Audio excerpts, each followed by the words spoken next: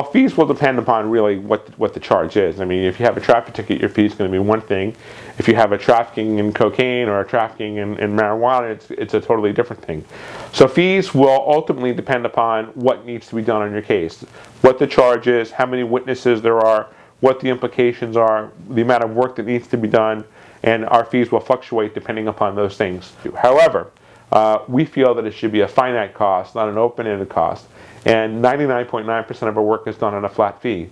We take a look at the police reports, and most of these things are things that we've dealt with on a, on a fairly regular basis, and we have a fairly good idea of what it's going to take to fairly investigate your case, fairly defend your case, and get you the best possible result. Uh, we do arrange for payment plans if that's necessary.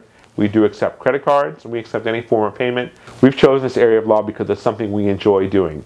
This is criminal law is something that we have a passion about. Traffic law is something that we have a passion about. And the passion is helping people.